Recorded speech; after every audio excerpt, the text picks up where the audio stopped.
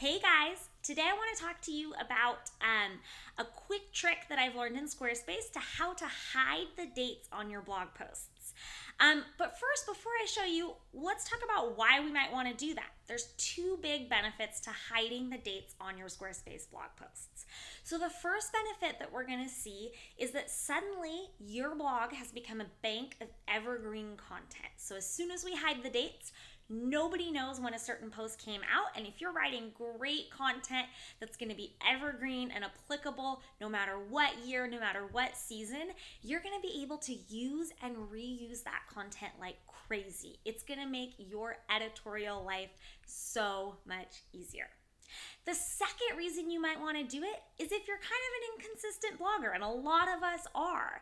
So if you don't have the dates on the posts and your visitors can't scroll back and see how long it's been since you blogged and then how many weeks you went in between, then nobody will know whether you're a wonderful regular daily or weekly blogger or if you're more of an intermittent blogger. All right, let's take a look at how we can make it happen. So, removing the dates on your Squarespace website is going to be a little bit different depending on what template you're using, but we're always going to follow the same process. So, I'm going to show you on two different templates so you can get an idea of how the process is the same and how the process is different. If you're having trouble with your specific template, just post a note in the comments below and I'll um, try to pull that correct code for you here. Um, but it's really, really easy to find and really easy to do. So, the first thing I want to note is that I'm using the Chrome browser. So, we're using Google Chrome browser. You can do this in any browser, um, but the inspector tool is going to look the same as it does for me. It'll look the same for you if you're working with Google Chrome when you try to do this. The next thing we're going to do is we're going to open up the design panel on our Squarespace website and we're going to take a look at custom CSS. So, this is going to be custom CSS that we can apply to our website. What we're not doing here is we're not changing any functionality, we're not changing the back end, we're just adding some extra style. We're telling the website what it needs to look like.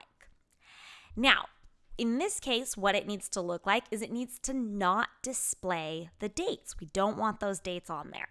So we're going to come over to our post and we're going to hover our cursor just right over the item that we're looking at, in this case, the date. And we're going to right click and then click inspect. And what this is going to do is it's going to open up the code inspector.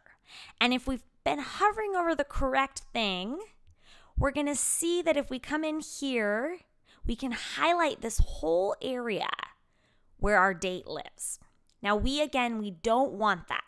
So, the next thing that we're going to do is we're going to take a look over in our styles section to see how we can talk to this particular area here. So in this case, we'll look at the first line here, and it's this tweak blog text alignment center, time, date, call out. And just the part that's in black, this is the part where we want to actually target our specific code. So we're going to click here we're going to again go back and highlight the part that was in black. We're going to hit copy.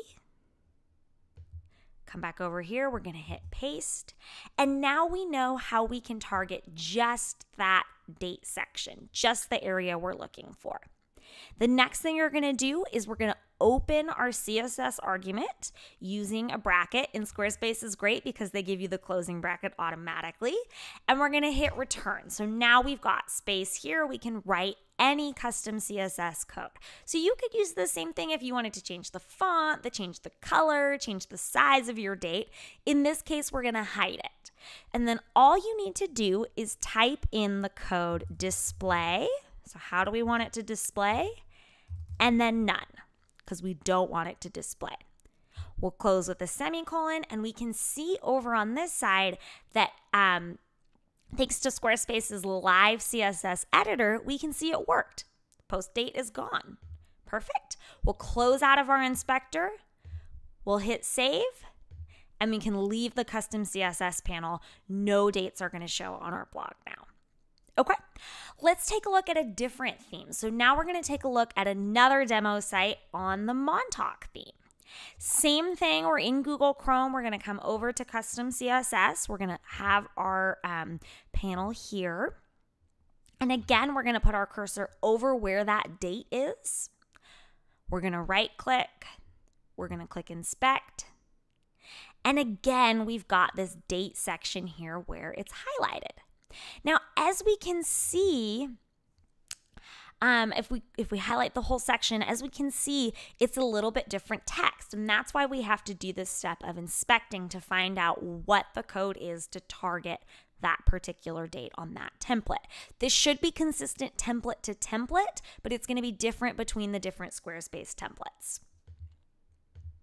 So again, we're going to highlight only the part that's black. We're going to copy it and paste it here. We're going to open our CSS argument we're going to say display none. We see that it disappears here. We'll close with a semicolon for good measure. And we're done. We can hit save and we no longer have the dates on our blog posts.